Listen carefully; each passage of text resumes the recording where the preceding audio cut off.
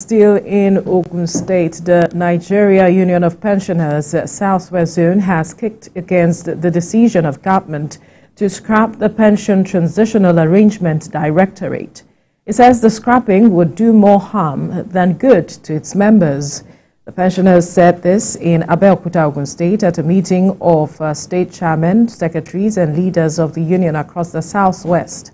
They say before the establishment of PTAD, pensioners were treated inhumanly.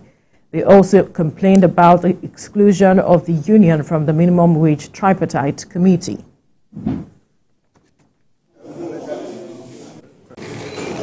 Government promised to give 25,000 naira to pensioners, has not fulfilled that promise.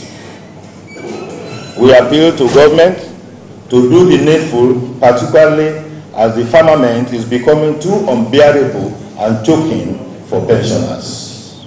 Government should declare emergency on food security and as steps to stem the tide of hunger, we advocate that government should, as a matter of urgency, create food production zones in each geopolitical zone of the country.